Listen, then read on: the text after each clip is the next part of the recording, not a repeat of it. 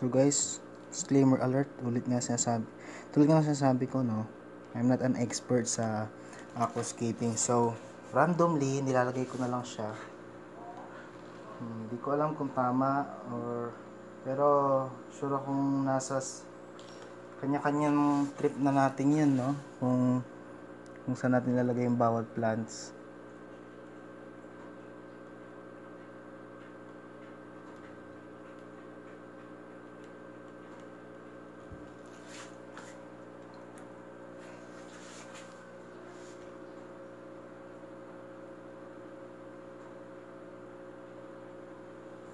So guys, kapag alam-alam ko na mahirap ibaon sa lupa yung hornworts kasi ah masyado siyang malambot, napuputol siya or hindi siya napuputol, lulutang siya.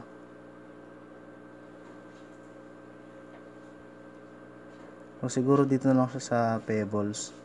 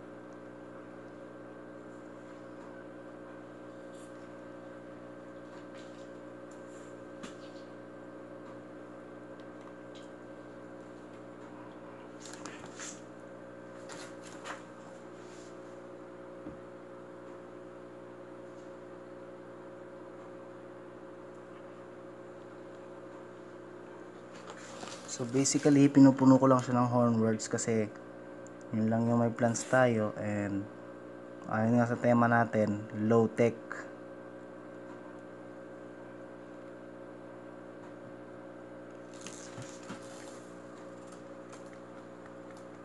So guys, kung may nakita kayong mga debris-debris na galing sa hornworts, ah, normal lang yan sa kanila kasi naglalagas sila talaga pag ah, nai-stress yung halaman or tulad nito bagong lipat. So nagtatanggal-tanggal sila ng mga dahon-dahon nila. So guys, itong mga to, hindi ko alam ah, actually hindi ko alam kung anong tawag sa kanila, binigay lang sa akin. Galing sila sa seller na si Kuya Jefferson Santiago. PM niya siya, marami siyang platis. Yun, doon ko nakuha yung mga live bearers ko sa kanya. So, pupunin pa natin to ng marami pang ah, hornworts and doon na tayo sa next clip.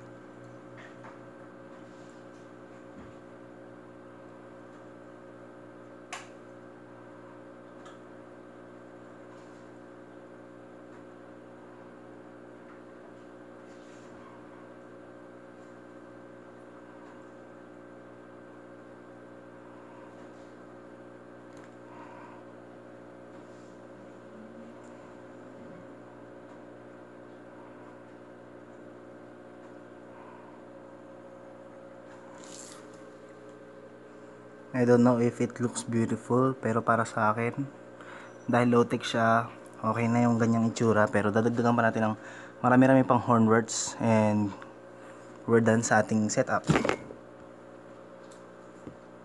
So guys, ito hindi ko alam kung tawag dito sa plant na to. Pero Nalagay na lang din natin siya. Ah, na, ano rin siya? Aquatic din siya. Aquatic din siya, so pwede siya sa tubig.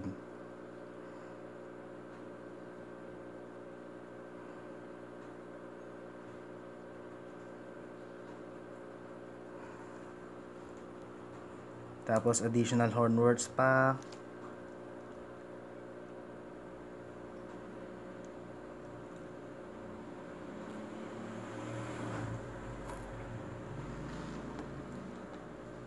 At yung pinakamagandang tubo ng hornworts ko, lalagay din natin.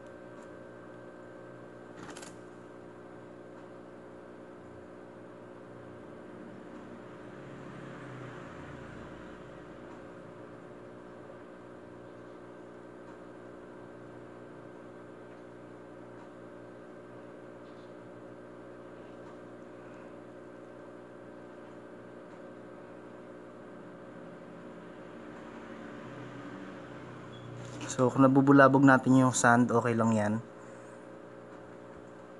Basta magawa natin yung plant.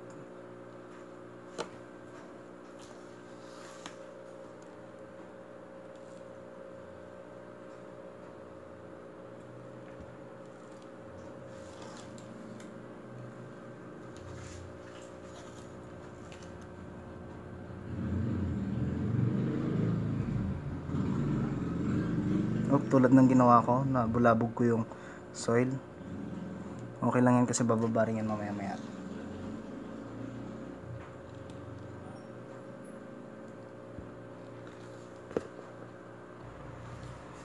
So ito rin, ah isa rin sa pinakamaganda kong tubo ng ah, hornworts o yung pagpalaki niya. Maganda siyang tubo kaysa sa iba kasi mas makapal yung leaves niya kasi doon sa iba. So, lalagay natin sa dulo and yun na, tapos na tayo.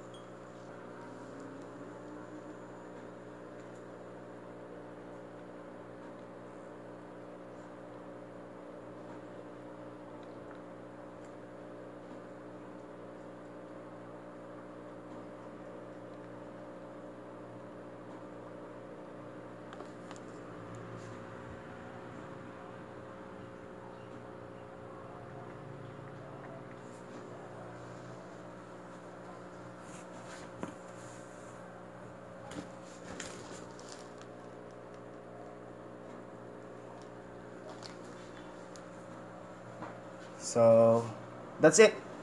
Yan na po ang ating ah, planted tank. Ah, yan ang tatawag natin na low-tech planted tank. Pero sa susunod guys, pag tayo gumawa ng planted tank ay lalagyan natin ng iba't iba ng ah, halaman. Pagpasensya nyo na kasi yan lang yung ah, na ano ko ngayon, na pag-ipunan ko. Ah, or, or masasabi ko, meron, yan lang ang meron ako. So, yan guys, ah comment nyo sa baba kung ano sa tingin nyo, pangit ba siya or anything. So, final verdict. Sinabi ko sa first video natin, ratio nito, pantay dito, ito, ah, obviously, hindi ko yung nagawa. Pero, kitang kita naman na okay lang siya kasi hindi siya yung masyadong cloudy. Cloudy siya, pero hindi masyado. So, guys, ang sure ako, ah, pampalit sa cloudy ay onting water change lang. Tapos, good to go. Tapos, bababa naman yung debris ng ng mga soil at saka ng sand. So, okay lang siya. Ah, nothing to worry about. So, yun guys. Ang ah, yan lang ang ating na, ah, nano low-tech planted tank. Ah, garden soil at saka simpleng sand na tag 10 piso lang per pack. So guys, watch yung video ko tung nagpunta ako sa Joy Joy at saka yung isa ko pang video ng part 1 ng ating planted tank. So, thank you guys sa panonood. Eh, by the way, lagyan muna natin siya ng isda para presenting siyang tignan. So guys, here's the first fish. Uh, wonderful platy na galing kay Sir uh, Jefferson Santiago. So, uh, sulat ko yung pangalan niya sa description below at uh, PM niyo na lang siya through Messenger, FB Messenger.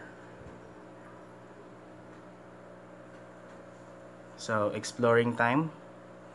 Platies are live bearers and kahit wala silang oxygen or air pump, kaya nilang mabuhay.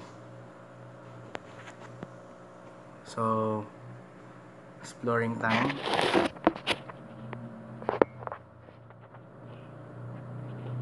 Yan, female. Mukhang female siya. Ayan, maliit pa lang siya. So, okay na okay sa tank. Oops, sorry. So, maliit pa lang siya. Okay na okay siya sa tank. And roaming around.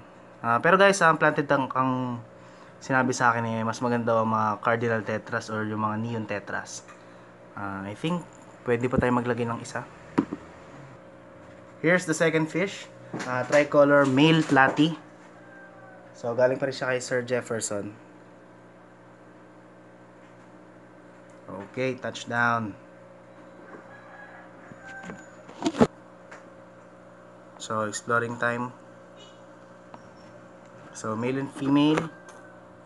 Para may kasama siya. So, guys, again, thank you for watching this video. Subscribe, like, comment, and share this video. Uh, thank you for watching sa ating uh, nano planted tank. So, malabo man yan. Gagawin natin ang paraan yan dahil onting water change lang okay na.